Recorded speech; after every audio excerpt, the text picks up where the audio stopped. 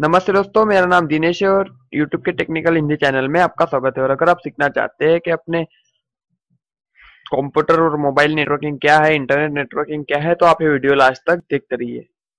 इसके पहले दोस्तों, आपको एक बात बता दूँ कि अगर आपने हमारे चैनल को सब्सक्राइब नहीं किया है तो उसे यहाँ क्लिक करें और तुरंत सब्सक्राइब कर ले। जिससे आपको हमारे नए नए वीडियो के बारे में फ्री में जानकारी मिलती रहेगी। तो देखिए दोस्तों, ये मैंने नेटवर्किंग का इमेज यहाँ पे लगा के रखा है, जो कि नेटवर्किंग मतलब क्या होता है कि अगर हम एक कंप्यूटर दूसरे कंप्यूटर से कनेक्ट करते हैं यूएसबी से या फिर लैन से तो उसे भी नेटवर्किंग कहते हैं। आप अगर कोई वाईफाई यूज़ कर रहे होते हैं, उसे भी नेटवर्किंग कहते हैं, जो कि एक दूसरे से कनेक्टेड होते हैं, उसे नेटवर्किंग कहते हैं, चाहे वो वायरलेस कनेक्शन हो या फिर वायर कनेक्शन हो। तो अभी मैं आपको एक बात एक बात बता रहा हूँ, जो कि यूट्यूब पे आप वीडियो मेरा देखिए ये भी एक नेटवर्किंग का ही पार्ट है।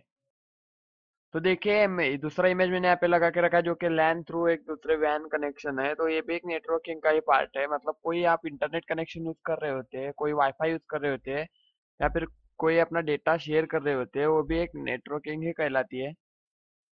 आप अगर पाँच छह लोग के लैपटॉप और कंप्यूटर को एक साथ जोड़ देते हैं यूएसबी से और कोई डेटा इसमें से शेयर कर देते हो, देखिए इस इमेज में जैसे है, एक कंप्यूटर में से अलग अलग कंप्यूटर में डेटा वायर से शेयर किया जा रहा है इंटरनेट डेटा हो या फिर कुछ भी तो इसे हम नेटवर्किंग कह सकते हैं, क्योंकि नेटवर्क मतलब एक दूसरे से नेटवर्किंग में होते हैं और कनेक्टेड होते हैं या फिर ब्लूटूथ से कनेक्टेड हो सकते हैं या फिर वायरलेस कनेक्टिविटी हो सकती है, या फिर वाईफाई हो या फिर यूएसबी हो तो ऐसे ही नेटवर्किंग हम आसानी से कह सकते हैं।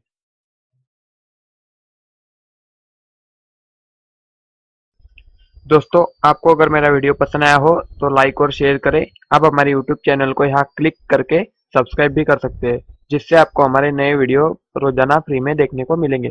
धन्यवाद।